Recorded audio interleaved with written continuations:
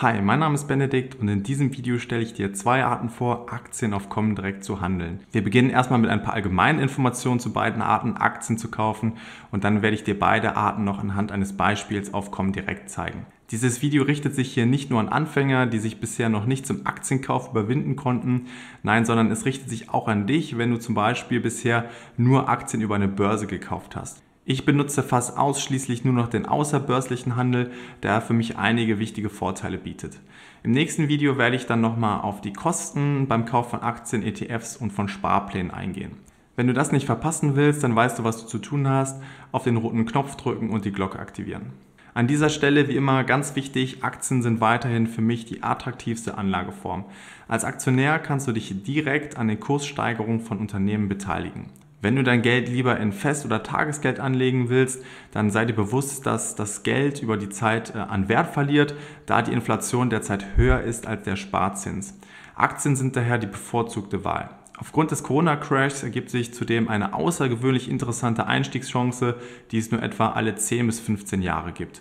Auch trotz Erholung der Aktienkurse und der Aktienmärkte könnten diese auch wieder weiterfallen. Trotz milliardenschwerer Rettungspakete könnte die Rezession doch noch kommen und den Aktienmarkt abermals crashen. Der Kauf von Aktien bietet dir die Chance, eine Überrendite im Vergleich zum Markt oder einem Index zu erzielen.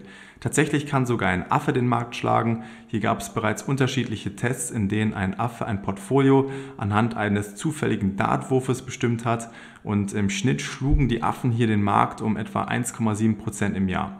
Das soll jetzt keine Aufforderung sein, willkürliche Aktien äh, auszuwählen und zu kaufen. Ich möchte nur deutlich machen, dass man auch, ähm, ohne dass man ein Finanzguru ist, an den Finanzmärkten erfolgreich sein kann.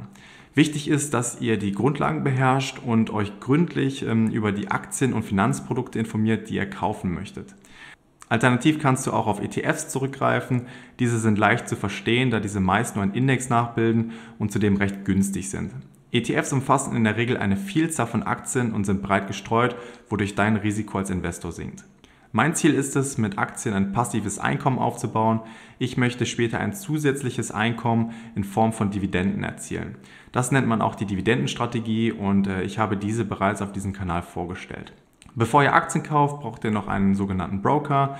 In diesem Video werden wir, wie es in dem Titel steht, den ähm, Broker Comdirect nutzen. Einen Link zu diesem Broker findest du unten in der Videobeschreibung. Kommen wir nun zu den zwei unterschiedlichen Möglichkeiten, Aktien zu kaufen. Wir unterscheiden zwischen dem börslichen Handel und dem außerbörslichen Handel. Beide Varianten haben hier Vor- und Nachteile. Der börsliche Handel erfolgt, wie der Name bereits vermuten lässt, über eine Börse. Eine bekannte deutsche Handelsbörse ist die Xetra. Beim außerbörslichen Handel findet der Handel ohne eine Börse statt und wird auch als OTC-Handel bezeichnet. OTC bedeutet Over the Counter, also über den Tresen gehandelt. Bekannte Direkthändler sind hier beispielsweise Lang und Schwarz oder auch Tradegate. Somit wird direkt zwischen Käufer und Verkäufer gehandelt. Dadurch kann man auch außerhalb der üblichen Handelszeiten einer Börse handeln. Somit kann man außerbörslich zum Beispiel von 8 bis 22 Uhr oder zum Teil sogar am Wochenende handeln. Der Handel erfolgt dann über Broker oder auch Direktbanken. Da jedoch die Börse als Vermittler wegfällt, fallen logischerweise auch weniger Gebühren bei der Transaktion an. Nachteile gegenüber dem Börsenhandel ist, dass der Handel keiner Börsenaufsicht unterliegt. In Deutschland unterliegen Börsen und auch der Börsenhandel der Aufsicht der BaFin. durch den außerbörslichen Handel können jedoch auch mehr Finanzprodukte gehandelt werden, die unter Umständen nicht an einer Börse zugelassen sind. Ein weiterer Vorteil ist zudem, dass die Order sofort ausgeführt wird und man den Kaufpreis sofort angezeigt bekommt. So viel zu der Theorie. Schauen wir uns nur die Methoden auf der Comdirect-Seite anhand eines Beispiels an. Nachdem wir uns eingeloggt haben, werden wir erstmal auf Order klicken. Unter Inlandsorder könnt ihr auf deutschen Börsen und unter Auslandsorder auf ausländischen Börsen handeln.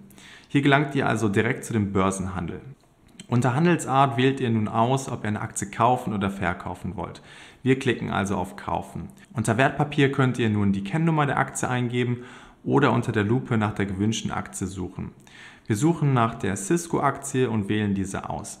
Einige Aktien haben übrigens verschiedene Varianten. Um Aktien eindeutig zu identifizieren, haben diese eine zum Beispiel deutsche Wertpapierkennnummer oder auch WKN genannt oder eine internationale Identifikationsnummer, auch ISIN genannt. Falls eure Aktie also mehrfach auftauchen sollte, informiert euch vorher über die Unterschiede. Nun müssen wir bestimmen, wie viele Aktien wir kaufen möchten. Angenommen, der Kurs liegt aktuell bei 31 Euro für eine Aktie und ihr wollt 500 Euro investieren. Dann teilt einfach 500 durch 31, das ergibt 16, irgendwas Stück. Wir können hier in diesem Fall nur volle Aktienanteile kaufen, daher müssen wir dann auf- oder abrunden. Im unteren Teil könnt ihr euch die Börsen anzeigen lassen, auf denen ihr diese Aktie handeln könnt. Xetra ist hier eine der größten Handelsbörsen in Deutschland und mit einem der höchsten Handelsvolumen. Beachtet, dass ihr beim Börsenhandel nur in den Handelszeiten einer Börse handeln könnt. Im unteren Teil der Order könnt ihr auch noch die Gültigkeit eurer Kauforder festlegen. So kann eure Order auch zu einem späteren Zeitpunkt noch ausgeführt werden. Unter Ausführung könnt ihr zwischen billigst und der Limit Order wählen. Bei billigst wird der nächstbeste Kurs gehandelt. Hier besteht natürlich ein Preisrisiko, insbesondere wenn die Aktie am Folgetag mit einem höheren Angebotspreis in den Handel startet. Daher könnt ihr hier unter Limit auch immer euren Wunschpreis festlegen und wenn dieser erreicht wird, wird eure Order ausgelöst. Während der Handelszeiten könnt ihr natürlich auch immer eine Billigstausführung durchführen, also eine Market Order. Die Börsen stehen unter der Aufsicht der BaFin und es sollte nicht zu allzu großen Abweichungen kommen. Klicken wir nun auf Weiter und dann sehen wir eine kleine Zusammenfassung von unserer Order. Überprüft ihr nochmals eure Angaben und unter Kosten und Nebenkosten könnt ihr euch auch nochmal ganz genau die Kosten für diese Order anzeigen lassen. Die Kostendarstellung ist hier höchst transparent und es gibt hier keine weiteren versteckten Kosten.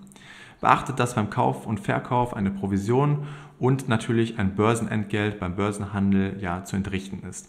Auf die Kosten gehen wir dann aber nochmal in einem anderen Video genauer drauf ein. Wir haben jetzt unsere Angaben geprüft und wollen die Order durchführen. Ich habe ähm, als Sicherheitsverfahren mir die Fototan eingerichtet. Dazu öffne ich einfach meine Fototan-App, gebe hier mein Passwort ein, scanne den Code ab und ich bekomme dann eine TAN, mit der ich die Order freigeben kann. Eure Order könnt ihr dann auch in dem Orderbuch später nachverfolgen. Wie das aussieht, das können wir uns nachher nochmal anhand des außerbörslichen Handels anschauen. So, kommen wir nun zu dem außerbörslichen Handel. Für den außerbörslichen Handel müssen wir ähm, bei der Order auf Live-Trading klicken. Hier müssen wir nun entscheiden, ob wir Live-Trading ohne Limit oder Live-Trading mit Limit durchführen. Wir werden jetzt beide Varianten einmal durchgehen. Beim Live-Trading ohne Limit äh, müssen wir zu Beginn direkt die TAN über die Fototan-App eingeben. Bevor wir unsere Stückzahl angeben, müssen wir uns hier die Kurse für die verschiedenen Börsen anzeigen lassen. Hier wählen wir uns die günstigsten Preis aus. Nach Angabe der Stückzahl klicken wir auf Weiter und der Preis wird direkt für diese Order angeboten. Dieser ist nur wenige Sekunden gültig, danach muss man sich einen neuen Preis geben lassen. Äh, hier seht ihr bereits einen großen Vorteil gegenüber dem Handel an der Börse. Ihr seht sofort den Preis, zu dem ihr kauft. Nach Bestätigung der Order werdet ihr dann sofort die Order im Depot haben. Das Live-Trading mit Limit ist ähnlich wie der Handel an der Börse.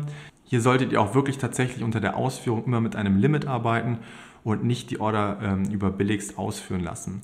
Kauft ihr die Ausführung billigst, also löst eine Market Order aus, kann es sein, dass ihr einen deutlich schlechteren Kurs erwischt. Nach Abgabe der Order wird automatisch geprüft, ob euer Preis angenommen wurde. Im Orderbuch könnt ihr dann auch nochmal den aktuellen Stand eurer Order einsehen. Falls diese noch nicht ausgeführt wurde, könnt ihr diese selbstverständlich noch ändern.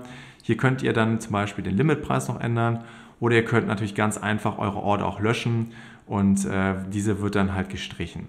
Im Orderbuch findet ihr diese gelöschte Order dann unter gestrichene Order. Mir gefällt Comdirect hier sehr gut, da die Eingabemasken sehr übersichtlich sind und äh, die Kosten halt höchst transparent dargestellt werden. Ja, so einfach ist es in der Regel Aktien zu kaufen. Da ich zu den regulären Börsenzeiten arbeiten bin, macht es für mich äh, Sinn, hier den außerbörslichen Handel zu nutzen. Äh, mir gefällt zudem die Preiskontrolle, die schnelle Ausführung und auch die geringeren Gebühren, da man natürlich keine Börsengebühren zahlen muss. Äh, wenn dir das alles zu kompliziert sein sollte, dann gibt es noch eine weitere Möglichkeit, Aktien zu kaufen. Und zwar kannst du mittels eines Sparplans Aktien handeln. Hierzu habe ich auch bereits ein Video gemacht, das werde ich dir hier oben verlinken. Dann nochmal vielen Dank, wenn du dieses Video bis zu diesem Punkt geschaut hast. Schreib mal unten in die Kommentare, ob du den börslichen Handel bevorzugst oder den außerbörslichen Handel. Vergesse nicht, das Video zu bewerten und bis zum nächsten Mal.